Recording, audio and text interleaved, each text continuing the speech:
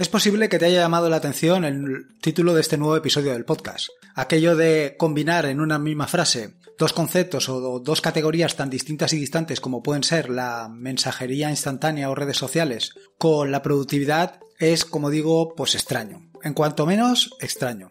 Y te digo que es extraño porque eh, eh, estoy hablando de que las redes sociales o la mensajería te va a ayudar en tu productividad, cuando lo normal, lo que has escuchado siempre es que las redes sociales lo único que sirven es como un agujero negro para tu productividad. Donde se meten las redes sociales, desaparece tu productividad. Pero lo cierto es que no te voy a hablar de cualquier servicio de mensajería o cualquier aplicación de mensajería o cualquier red social, te estoy hablando de Telegram. Te estoy hablando de lo que para mí es una herramienta que va más allá de un simple servicio de mensajería. Lo cierto es que en este nuevo episodio del podcast no iba a hablar de Telegram, mm, quería reservarlo para un episodio posterior. Pero, eh, dado la insistencia de los chicos de Telegram por sacar continuas actualizaciones de su aplicación, tanto de la versión de escritorio como de la versión para móvil, he creído conveniente pues acercarte estas nuevas novedades para que si no las conoces, las, las puedas saborear, las puedas ver, las puedas disfrutar y te puedan servir para precisamente eso, para mejorar tu productividad.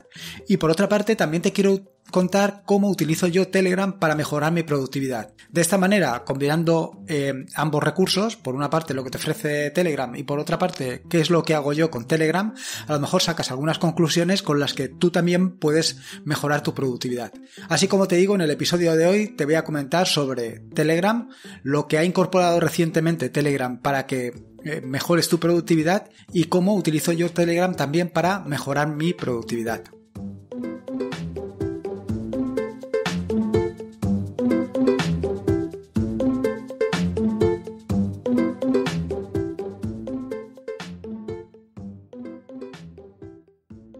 Antes que nada, y antes de empezar a contarte las novedades que ha incorporado Telegram a, su, a sus aplicaciones, tanto la correspondiente al escritorio como la de móvil, quiero hacerte una advertencia que creo que ya te hice en eh, un episodio anterior del podcast.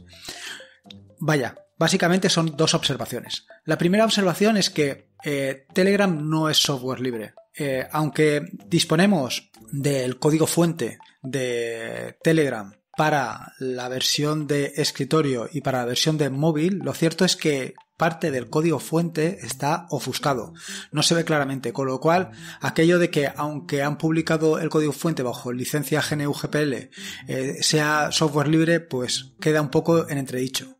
De hecho, yo creo que ya lo comenté anteriormente, en lo que se refiere al cliente de Android, hay abierto ahora mismo una pull request en la que se tratan principalmente dos objetivos. Por una parte es que la parte del código binario que se que se encuentra en el, repositorio, pues que es necesario quitarla para hablar siempre de software libre. Y por otro lado, que hay que eliminar la dependencia de servicios externos, servicios externos como pueden ser los de Google Services.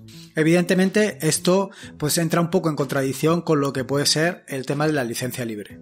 Y luego, por otro lado, está el tema de negocio o el modelo de negocio que ya he comentado en ocasiones anteriores. Y es que eh, estás ante una aplicación que es gratuita. Pero, ¿de qué vive esa aplicación? Ten en cuenta que eh, Telegram ahora mismo pues eh, está sobre servicios de Amazon.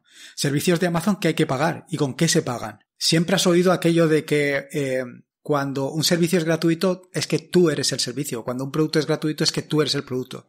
Y esto es lo que me da realmente miedo a mí. Que pues todo esto sirva pues para algún fin concreto que yo no he llegado a captar. Entiendo que otros servicios como pueden ser Google, lo que te venden al final es publicidad, pero ¿qué es lo que vende Telegram? Eso es lo que realmente no sé. Y luego, por último, también te quería advertir, y ya creo que lo hice anteriormente, sobre el tema de los bots. Uno de los grandes problemas que, tienen los bots, con independencia de que sea software libre, eh, eh, Telegram, es que al final están registrando todo aquello que sucede en el grupo de Telegram donde esté incorporado ese bot puede grabar o guardar todas esas conversaciones, con lo cual, eh, evidentemente, queda todo en un, vamos, en un punto de privacidad bastante sospechoso. A pesar de todo, te tengo que decir que evidentemente Telegram es para mí fundamental. Es una herramienta fundamental porque realmente me ayuda a mejorar mi productividad y me ayuda a mejorar mi productividad con lo que te comentaré más adelante. Y de hecho, eh, le he dedicado mucho tiempo y mucho esfuerzo para, para difundir o, para acercarte Telegram para que tú también la utilices y le puedas sacar esa productividad que comento.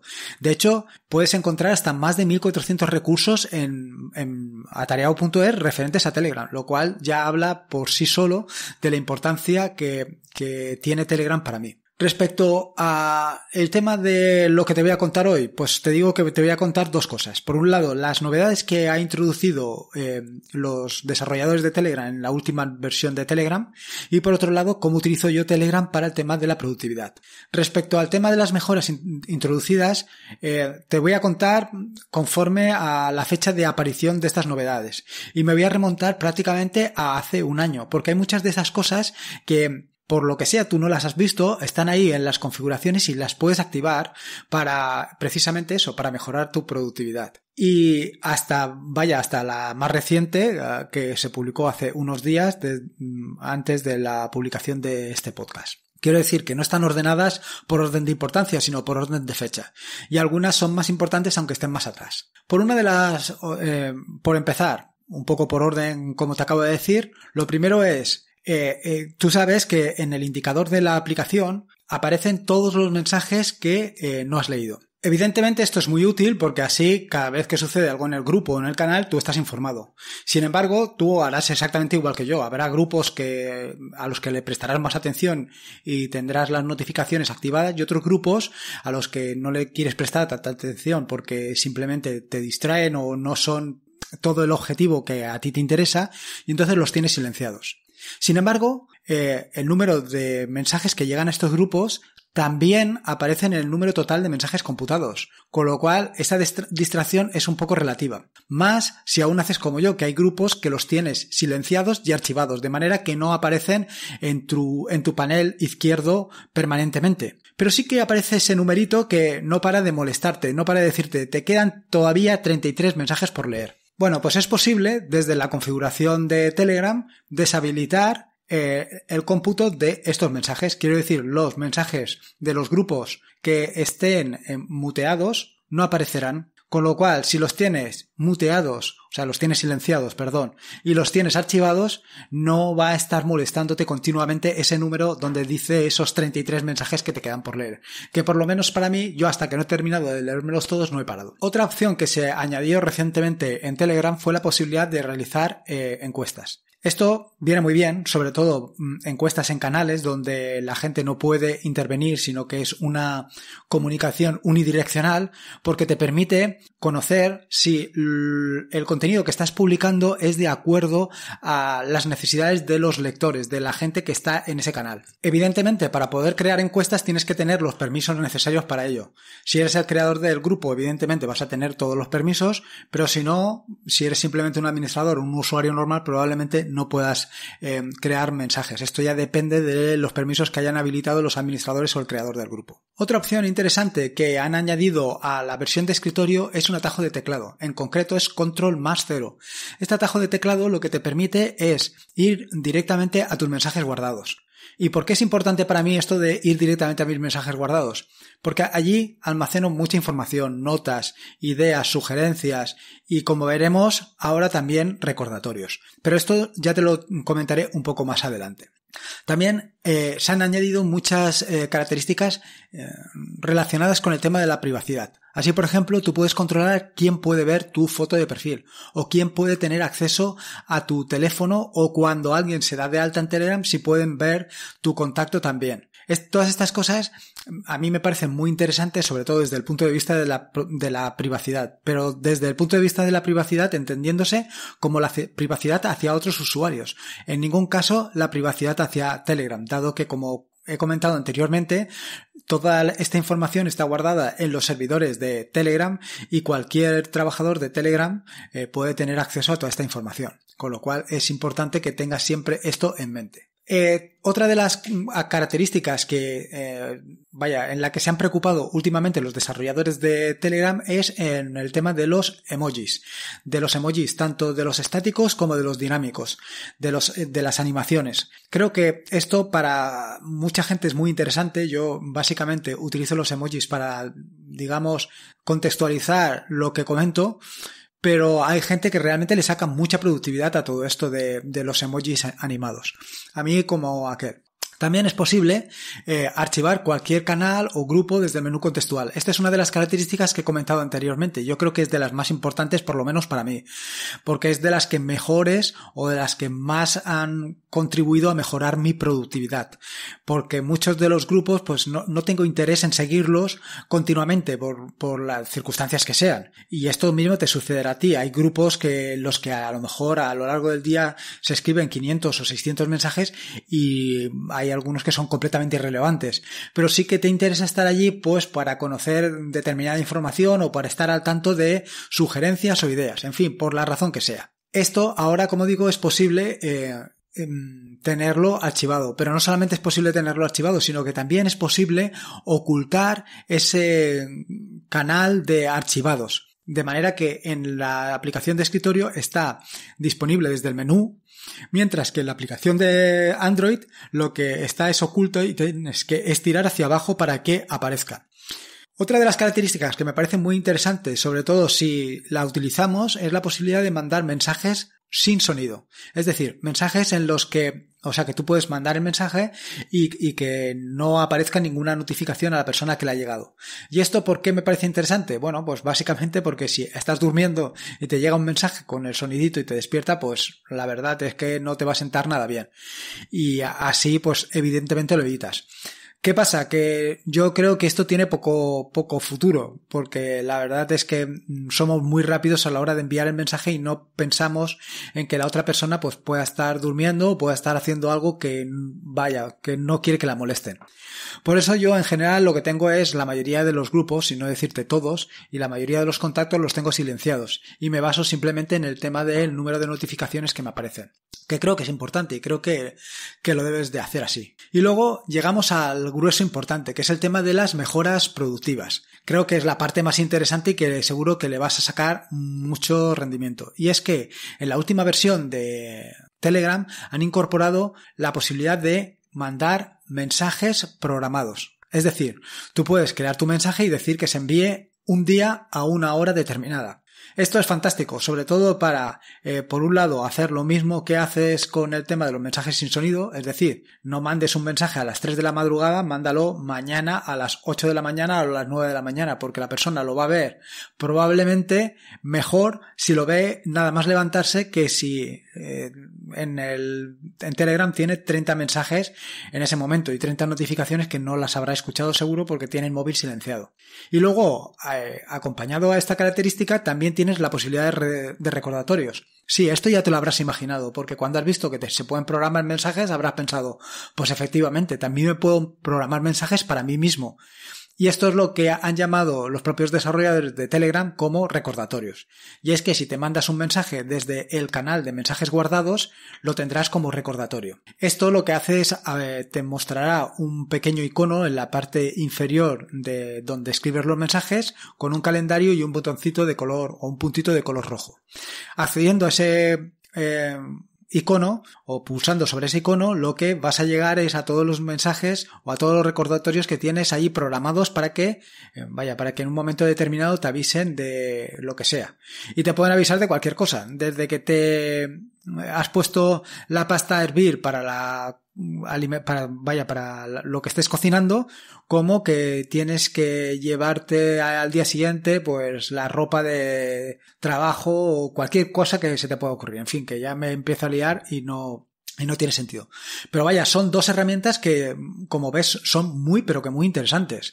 Esto de programar eh, mensajes para otras personas y sobre todo el tema de los recordatorios. Yo creo que son dos eh, em, opciones que han introducido y que te van a ser de mucha utilidad. Dicho esto, eh, ¿cómo utilizo yo Telegram para el tema de la productividad? Bueno, en este sentido tengo varias cosas interesantes. Una, evidentemente, ahora voy a incorporar esto de los mensajes programados a mi línea de trabajo, porque creo que, sobre todo, más que lo de los mensajes programados, el tema de los recordatorios. Porque, como te digo, creo que es algo verdaderamente interesante. Y luego, eh, eh, aparte de incorporar esto, lo que sí que tengo es eh, utilizo el canal de mensajes guardados para almacenar toda la información que considero relevante. Almaceno allí datos, e ideas y conceptos o mm, páginas web que me han parecido interesantes. Esto lo utilizo en paralelo con Todoist, que es otra aplicación, otro servicio de mm, listas de tareas. Actualmente utilizo más Todoist que Telegram eh, en este sentido, aunque Telegram lo utilizo para guardar, por ejemplo, imágenes, para guardar archivos, para guardar y todo en, el, en, este, en este canal de mensajes guardados.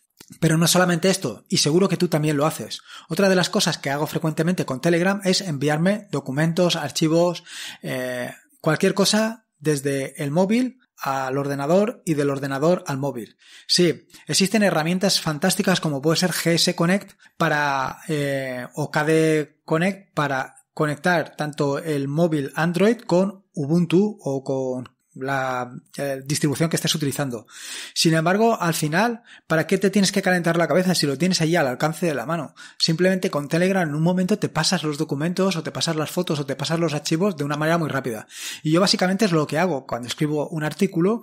Básicamente las imágenes que he capturado desde la, desde la cámara del móvil, las paso de esa manera a, mi escritorio y desde allí ya las incorporo en el, en el artículo. Y luego, por supuesto, para lo otro que utilizo en Telegram y que me parece fundamental es para el tema de información útil. Eh, en Telegram lo que hago es mandarme toda la información que considero útil y relevante para estar al tanto de todo lo que sucede en todos mis chismes, en todos mis dispositivos, en todas mis páginas web, en los VPS, en todo. Y es que cada vez que sucede algo en una Raspberry, en un VPS, en cualquier cosa de las que tengo conectadas a la red, inmediatamente me manda un mensaje de Telegram. Esto está, eh, por un lado, monitorizado de manera que, por ejemplo, las diferentes páginas web que ahora mismo eh, tengo desplegadas, eh, creo recordar que eran ahora mismo son cinco páginas web, pues esas cinco páginas web, eh, si en un momento determinado caen por las circunstancias que, sean, porque el hosting por lo que sea ha tenido un problema o porque el VPS ha tenido un ataque, en fin, por la razón que sea, inmediatamente me manda un mensaje de que el servicio ha caído. Igualmente de otros servicios como pueden ser bases de datos o como pueden ser eh, servidores web, todas estas cosas también las tengo monitorizadas de, esta manera. También, por supuesto, si aumenta la temperatura en una Raspberry de manera desproporcionada, esto también me va a mandar un aviso. Y por otro lado, también, por ejemplo, el tema de las copias de seguridad. Las copias de seguridad, cada vez que realizo una copia de seguridad, me manda un mensaje. Yo tengo programadas copias de seguridad diarias y con una periodicidad de una semana. Es decir, cada semana se vuelven a borrar todas las copias de seguridad que tengo. O sea, tengo guardadas las copias de seguridad de una semana. De manera que cada vez que hago una copia de seguridad me manda un mensaje. No tengo que estar al tanto de que me ha mandado el mensaje, sino cuando entro en mi, en mi canal de mensajes guardados o en un canal que tengo es profeso para este tipo de acciones, pues voy a ver todas estas cosas. Voy a ver cada uno de los mensajes de aviso que me ha aparecido. Evidentemente todo esto al final, por un lado, eh, te distrae porque eh, te da información y al final tienes que ir a mirar al móvil, pero por otro lado eh, tienes una seguridad de que aquello ha sucedido. Si lo tienes silenciado simplemente, pues eh, cuando mires otras cosas, pues te aparecerán. Otra de las características que tengo em, habilitadas, por ejemplo, es la posibilidad de redirigir todas las notificaciones que me aparecen en los distintos servicios de, redes sociales, como puede ser Twitter, Facebook, no sé si lo tengo habilitado, en fin, eh, los, las redes sociales sí que las tengo redirigidas a un canal propio o a un grupo propio que le he llamado eh, vida digital. Y ahí me va apareciendo toda esta información que te voy comentando. Así, por ejemplo, si me haces cualquier mención en Twitter, mm, directamente aparecerá en mi canal de vida digital y estaré informado de ello. ¿Esto con qué objetivo? Bueno, pues con el objetivo de intentar perder el mínimo número de em, mensajes que me enviáis. Porque muchas veces eh, se me despista algún mensaje y a mí me da mucha rabia no contestar. Eh, si no contesto es porque o no lo he encontrado o porque me ha desaparecido del correo electrónico. En fin, al final son muchas entradas, muchos inputs que tengo y intento eh, ser lo más explícito y solícito posible para solventar todas estas cosas. En fin, con esto te he contado un poco cómo me organizo yo con esto de Telegram y cómo lo utilizo para el tema de la productividad. Si tú le das algún otro uso eh, que lo consideres interesante, no dudes en decírmelo. Creo que cuanta más información tengamos, pues mucho mejor. Por último, se me había olvidado mencionarte el tema de los bots. Eh, yo en principio no utilizo bots de terceros y no utilizo bots de terceros por el hecho que he comentado anteriormente, porque te permiten registrar toda la información que pasa en un canal. Así, los bots que utilizo son los bots que he desarrollado yo. De esta manera sé qué es lo que está sucediendo y no hay problema. Pero evidentemente también he desarrollado bots que lo que me permiten es a gestionar un grupo. Por ejemplo, en el grupo de Ubuntizados, eh, ahí tenemos un bot donde eh, para evitar el spam lo tiene controlado. Cada vez que entra un bot simplemente lo que hace es hacerle una pregunta o cada vez que entra un usuario le hace una pregunta y si no responde de manera adecuada directamente lo expulsa. Y nos evitamos la entrada de bots bots que probablemente lo único que están haciendo es registrar todo lo que estás haciendo en el canal. Y esto es realmente peligroso. En fin, que me voy enseguida con las ramas con este tema. Lo que simplemente, si utilizas, como te decía anteriormente, si utilizas Telegram para otros aspectos del tema de la productividad que resulten interesantes, no dudes en comentármelos. Espero que te haya gustado el podcast de hoy. En las notas del podcast que encontrarás en ataria.es, por supuesto, están todos los enlaces que he mencionado a lo largo del mismo. La verdad es que en este episodio del podcast he sido bastante comedido. Te recuerdo que puedes encontrarme allí y como te digo, si tienes cualquier sugerencia para utilizar Telegram de una manera productiva, no dudes en comentármela. Igual que tu opinión sobre el podcast o cualquier cosa que me quieras comentar. Eh, allí estoy, tú me comentas y yo intentaré darte respuesta lo más rápido posible. Recordarte que este es un podcast asociado a la red de podcast de sospechosos habituales y que te puedes suscribir a la feed de esta red de podcast en feedpress.me barra sospechosos habituales. Y como te digo siempre, recuerda que la vida son dos días y uno ya ha pasado, así que disfruta como si no hubiera mañana y si puede ser con Linux, mejor que mejor. Me quedo aquí preparando algún que otro podcast y alguna novedad que estoy eh, pendiente de lanzar. Un saludo y nos escuchamos el próximo jueves.